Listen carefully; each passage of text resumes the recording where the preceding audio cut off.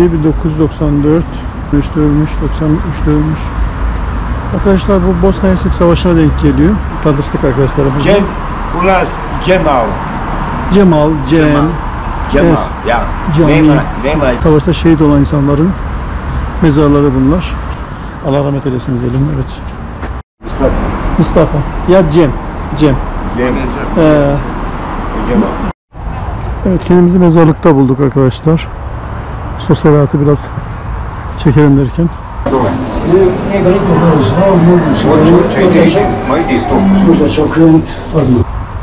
İşte kaos yaşanmış ülkelerde maalesef durum böyle.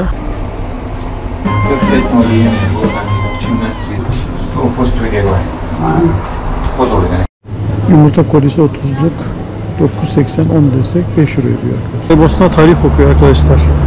Çok güzel çiçekler aslında. burada. Evet.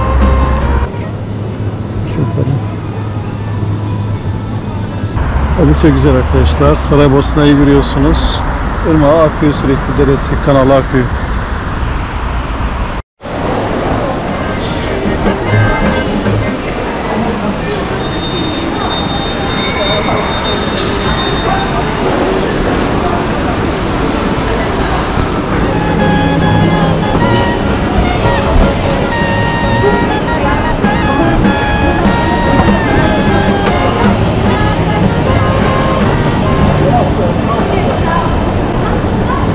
Merhabalar kıymetli arkadaşlar. Hepinize güzel bir gün diliyorum.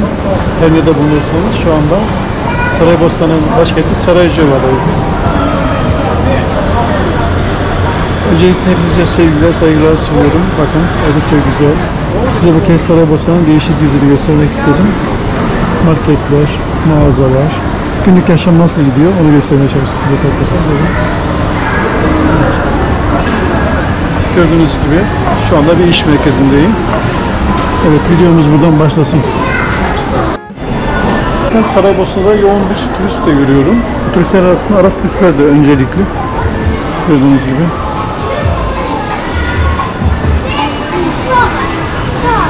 Evet. Saraybosna'nın eski geçmişe dayalı bir ağlayan yüzü. Bir de günümüze ait gülen yüzü var evet arkadaşlar.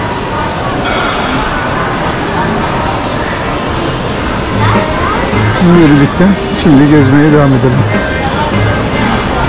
İnce hemen merdivenler kendinden harekete geçti. Büyük bir iş merkezi Saraybosna merkezinde mağazalar, vitrinler her şey burada var. Yerini almış.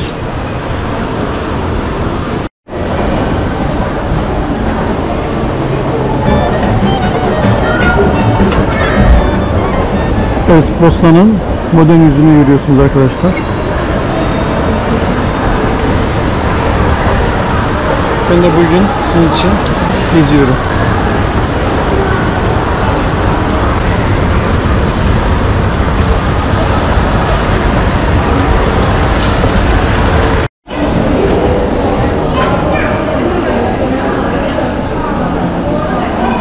En üstte güzel bir kafe arkadaşlar.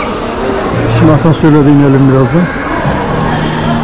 Buradaki menüler bakın spagettiler, margaritiler, dürümler, işte hamburgerler.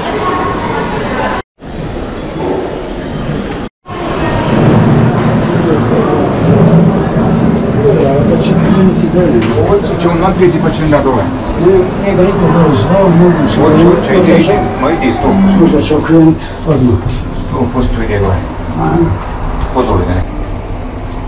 Perfetto, via. Boga mi. Cinnati. Market fiyatlarına bakalım arkadaşlar. Saraybosna'da fiyatlar nasılmış? Evet, üzüm 2.25 arkadaşlar. Bunu yarısı alacaksınız euro olarak. 2.25 ne yapar? Biri biraz geçkin euro. 2.55'miş. 1.25 euro bu gibi düşüneceksiniz. Gördüğünüz fiyatlar arkadaşlar burada yarıya bölün. Çünkü 1 euro 2 mark ediyor. Bu kağıma yazdıkları mark. Örneğin bu 1,5 euroya yakın. Elmaya bakalım. 2.55 yani 1.25 euro gibi. Limon 3.95 4 diyelim 2 euro. Bu şekilde arkadaşlar genel fikir vermiştir. Yumurta kolisi 30'luk 9.80 10 desek 5 euro ediyor arkadaşlar. Yukarı. Şu ekmek 2.15 yani 1 euro. Aşağı yukarı değişiyor. Yani. Şu bir 40 yazan 75 sent. Şu bir 92 yazan 1 euro. 1 euro civarında ekmek arkadaşlar. Bu ekmek aşağı yukarı 500 gram e, 1 euro olmuş oluyor. Burada hazır yemek de alabiliyorsunuz arkadaşlar. Mesela bu 11, 95. Yani o 19 yazıyor. 19. Yarısı 8,5. 9 euro arkadaşlar. Evet. Balık 6 euro. Kilosu bunlar tabii. O 10 euro. Tavuk budu 5 markmış. Yani 2,5 euro. Ucuz sayılır.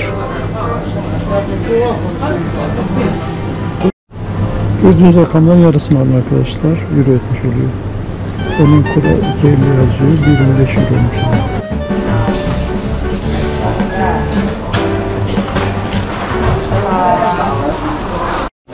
Şeklini göstermiş olalım.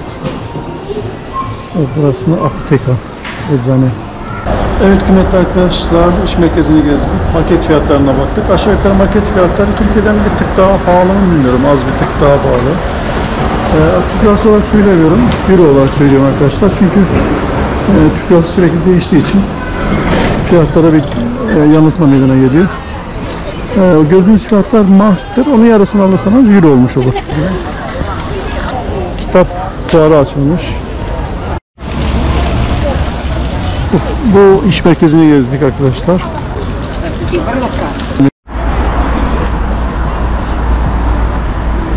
Evet biraz sosyal hayatı tanıyalım arkadaşlar. Caddeleri gezelim, sokakları gezelim. Ne oluyor ne bitiyor ona bakalım. Evet Sarajevo'ya geldik. Arkadaşlar Bosna Hersek'in başkenti.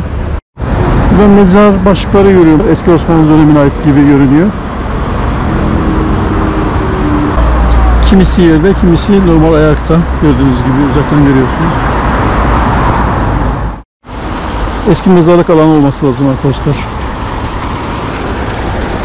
İstanbul Abijeni 1992-1995 anısını yapılmış arkadaşlar biraz. Bosna Hersek İç Savaşı. Evet arkadaşlar o zamanki şehit olan insanların isimleri var burada. 1980 1992 diyor. 1980 1993 79 92 1978 76 93 92 93 döneminde yoğun bir ölüm var. 1992 95 arasında herhalde şehit olan insanların isimleri var. Kendilerine Allah'tan rahmet diliyoruz. Çoğu ço- çocuk yaşta, çoğu çocuk yaşta. Evet mezarlık burası arkadaşlar. 57 1994 3'te ölmüş, 93'te ölmüş. Arkadaşlar bu Bosna Hersek Savaşı'na denk geliyor. Savaşta şehit olan insanların mezarları bunlar. Allah rahmet eylesin diyelim. Evet. Evet kendimizi mezarlıkta bulduk arkadaşlar. Sosyal hayatı biraz çekelim derken. İşte kaos yaşanmış ülkelerde maalesef durum böyle.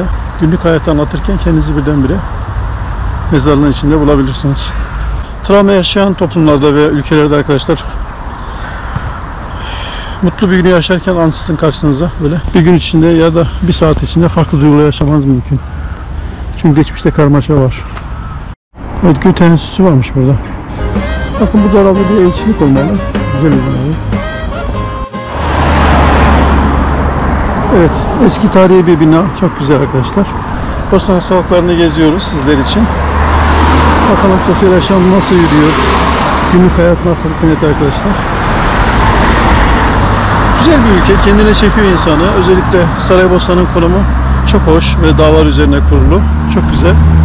Ama biliyorsunuz geçmişte 93'te yılında yaşanan iç savaşta burada çok sayıda insan olduğu için yani sonuçta insanlar hüzünlü, donup bakıyorlar. Osmanlı yazıları var üstünde arkadaşlar.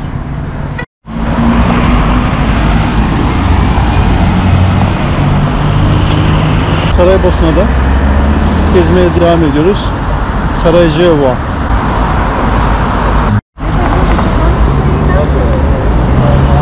Evet, yeşil geçiyoruz kıymetli arkadaşlar. Yeşile dikkat. Saraybosna. Ali Paşa Müzesi'ymiş. Bolnissa as- aslı neymiş? Çarşı çekmiştim oraya arkadaşlar. Spomenik, Bijenoj, Dizeci. Onlara hep bakacağız. Evet, bayraklar dalgalanıyor. Karşıda yine bir cami var. Camilerin çoğu arkadaşlar Osmanlı döneminden kalma. Evet, Bostan caddelerini gezmeye devam et. Değişik bir video olsun istedim bu. Günlük hayatla ilgili olsun. Allah rahmet eylesin. Evet. Burada bir cami var bakalım. Ali Paşa Camii.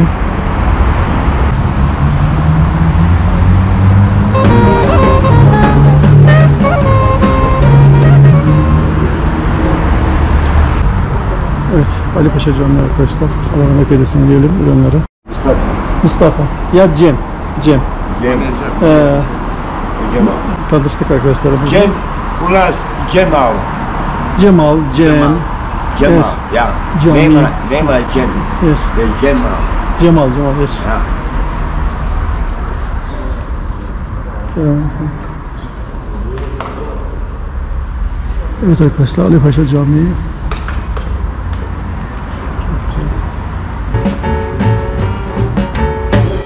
Afrika Asya. He? Afrika Asya. Nazi selam. Fakat Seraseri ma selam. Selam, selam. Sen.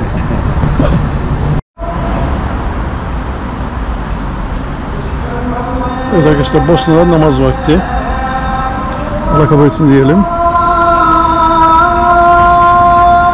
Bunlar ezanları biraz değişik okuyorlar sanki.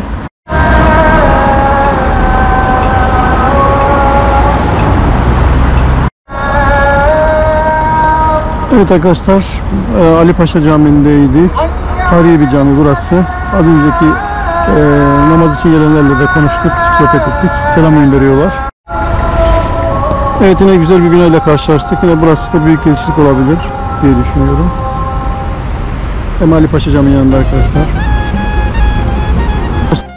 Evet Saraybosna'daki dağ mahallesini yürüyorsunuz değil mi arkadaşlar? Sırtını dağlara dayanmış. Ama hep böyle dağlara çevrili olduğu için Saraybosna. Ne bileyim bende hoş bir şey bıraktı. Bakın. Hep böyle dağlarla çevrili arkadaşlar. Bende hoş bir çağrışım bıraktı. Çünkü ben e, dağları seviyorum. Yeşillik ve ormanlıkları seviyorum. Böyle dağlara güzel binalar yapmışlar. Çok hoş yani. Evet. Bosna Hersek'i ikiye bölen dere, ırmak mı diyelim, dere mi diyelim. Akmaya devam ediyor arkadaşlar. Evet oldukça güzel. Oldukça bu saatlerde yoğun bir trafik var arkadaşlar biliyorsunuz. Hepinize güzellik diliyoruz. Bye.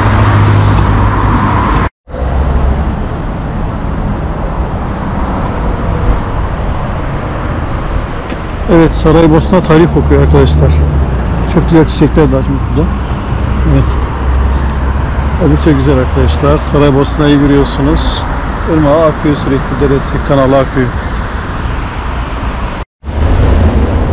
Evet kıymetli arkadaşlar size Saraybosna'yı Sarajevo tanıtmadan önce kısaca buradan nereden geldim buraya onu anlat.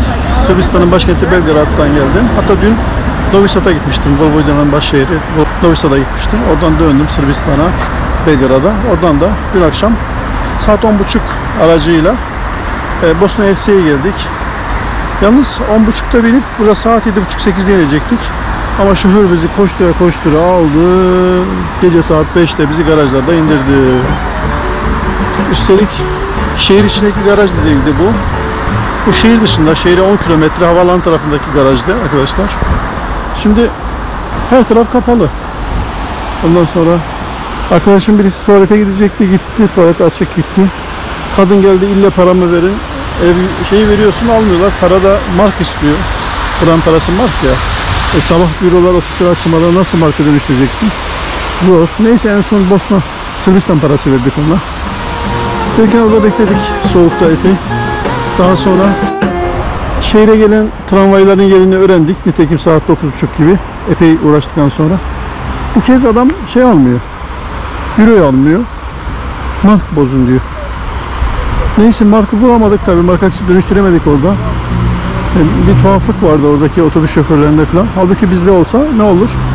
E, ya bin götürelimdir, bakar turisttir. Onu yapmadı. Adam e, adam başı dedi birer euro verirsiniz dedi. Yani normalde birer mark. Yani iki kişi bir euro olması gerekiyor. Bizden toplam üç buçuk euro almış oldu. Yani yedi kişinin parasını almış oldu. Bir önceki şoför yapmadı ama bizim bildiğimiz şoförü yaptı. Bize mecburen vermek zorunda kaldık. Çünkü markamız yoktu. Bostanın parası markamız yoktu. Bu da hiç hoşumuza gitmedi. Onu söylemek istiyorum evet arkadaşlar. Bilmiyorum. Böyle fırsatçılık gözetledim. Halbuki gelen turistlere yardımcı olmak lazım. Yani otobüs terminalında niye döviz bozduracak bir büro koymuyorsun? Ya da bir marka olan yeri niye 2 euro alıyor şoförün? Değil mi? Bir sıkıntı var arkadaşlar. Dolayısıyla mecburen verdik biz de paramızı. Şehir merkezine geldik. Bosna böyle kanal boyunca devam ediyor arkadaşlar.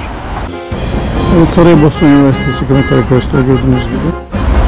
Ayrıca bir şey daha açıklamak istiyorum. Tabii ben e, Sırbistan'a giderken Karadağ'ın Bar şehrinden e, trenle gitmiştim.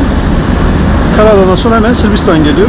Karadağ polisi geldi, pasaportlarımızı kontrol etti, geri verdi. Tabii biz o ara uyumuşuz. Yani bilet için bile gelip e, uyarındırıp soruyor biletin var mı yok mu diye. Neyse en son kalktık Belgrad'a varmışız gece. E, şey Sırp polisi gelip bize pasaportlarımızı falan sormadı. Dolayısıyla ne oldu? Pasaport kaşesiz girmiş olduk. E, dün Bosna'ya gelirken tabi e, Sırbistan çıkışında çağırdı beni dedi ki senin giriş kaşen, kaşen yok dedi. Neden böyle oldu dedi. Nedir bu dedi. Ben de durumu izah ettim. Dedi ki ben dedim e, aynen anlattığım gibi Kanada'dan geçtim Sırbistan'a ama polisiniz gelip kontrol etmedi. Neyse pasaportumu ayırdı ama en son e, tekrar bana vererek iyi niyet gösterisinde bulmuş oldu arkadaşlar. O yüzden gerçekten istese sorun çıkarabilirdi ama sorun çıkarmadı. Bakın havaya asmışlar heykeller bunlar. Evet arkadaşlar bakın köprünün güzelliğini görüyor musunuz? Çok muhteşem bir köprü. Ben çok beğendim. Bakın burada burada birinci, ikinci ve üçüncü bölmeler var. Yani su burada çoğaldığı zaman buradan akıp gitsin diye. Bakın burada V'ler yaparak V yapmışlar şurada. Suyu bölsün, köprüye zarar vermesin diye. Üstte de boşluk var. O boşlukta su tahliye olsun diye planlanmış ve düzenli olarak yapılmış. Çok güzel yapılmış arkadaşlar. Burada suyu bölmek için şöyle tepe, tepemsi bir şey vermişler burada. Öbür tarafta, ters tarafta şimdi bir de bakalım. Bakın köprünün kendisine bakalım. Çünkü köprü çok güzel. Taştan yapılmış kıymetli arkadaşlar. Oldukça hoş. Ben çok beğendim köprüyü. Tam ters taraftan da hatta şurada bakın oturma yerleri bırakılmış. Bak insanlar oturuyor orada. Bu ayrıca güzel. Yine buradan da bakın yuvarlak yapmışlar ki su oradan taşınca aksın diye. Köprünün ters tarafında görünüşünü görüyorsunuz arkadaşlar. Çok ayrı bir yani estetik anlayışla yapılmış. Ben mimar değilim ama e, sanat bakışım var. Gerçekten güzel yapmış. Bakın şurada boşlukta bırakmış. Orada su akınca yani su çoğalınca oradan akınca orada da suyu azaltsın diye böyle dengelesin diye yumuşatılmış yani. Evet köprüden geçiyorum arkadaşlar. Osmanlı dönemi taş köprü.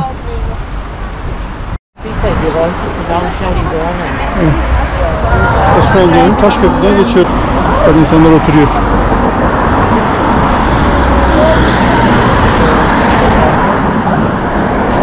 Otel köyleri yapılmış. Evet, müzeyi Sarajevo diyor. Sanıyorum o şeyin arabası olabilir bu. Avusturya Macaristan veliahtını öldürmüş ya. Bakın.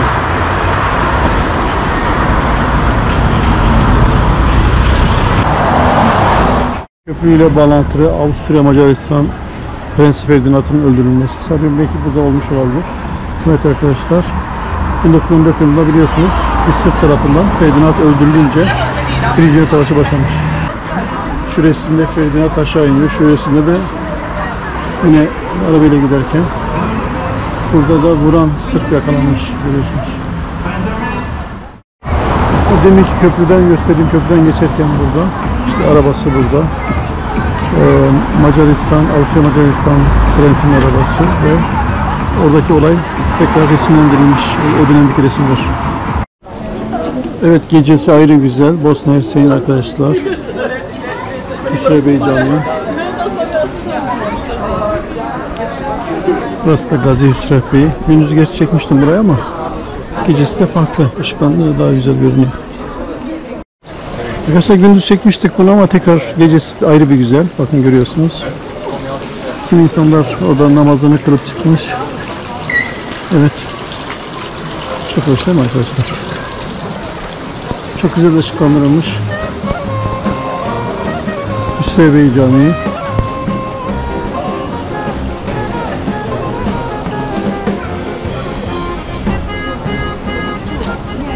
Radyo Hüsrev Bey Camii'ndeyiz. Namaz kılıyor insanlar. Çok güzel ışıklandırılmış. Evet kadınlar bölümü bu taraf, erkekler bölümü karşı tarafta namaz kılıyorlar.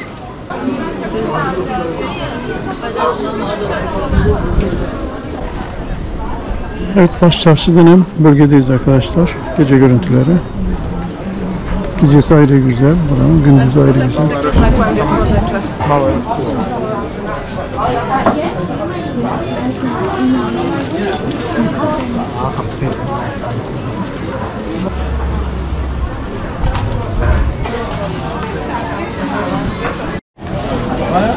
Evet tatlılar.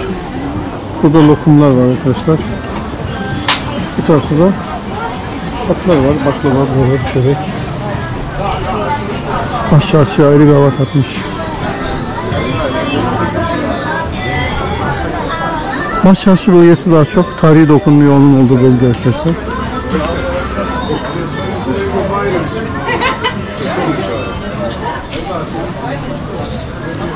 Evet, aydınlık olup süreci çekeceğim.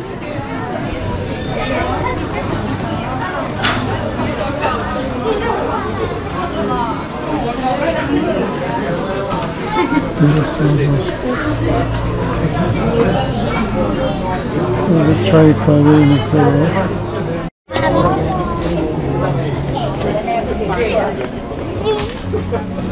Tarihi doku içinde lokanta arkadaşlar.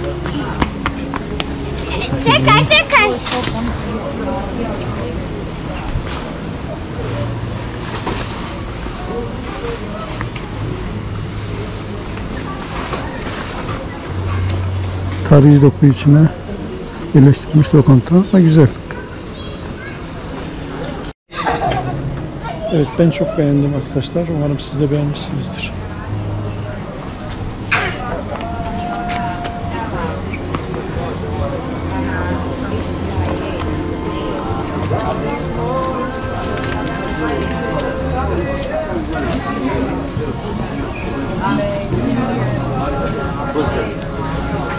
Evet. Tarihi resimle devam edelim.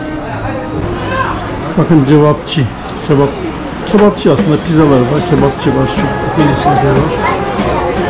Böyle bir sürü yemek var. Kızım döner çeşitli yemek var. Köfte çeşitli yemekler var. Kebaplar var.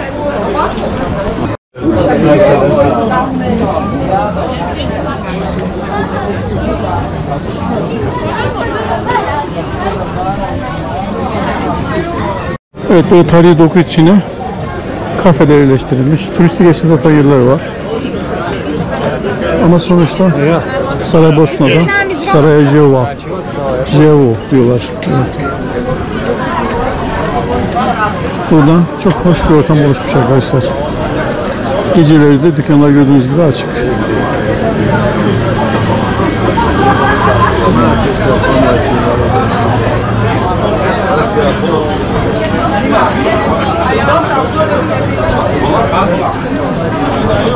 Evet bizi yine başka bir camiye çıkardı arkadaşlar. Bu yollar.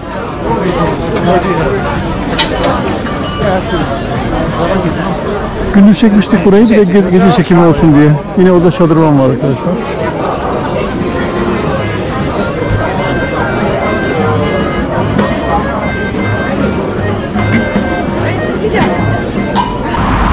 Evet bugünlük bu kadar arkadaşlar. Hepinize güzellikler diliyorum. Kendinize iyi bakın. Kanalımıza abone olmayı, like atmayı ve küçük küçük yorumlar yapmayı unutmayın arkadaşlar. Hepinize sevgiler sunuyorum. Hoşça kalın. Hoşça kalın.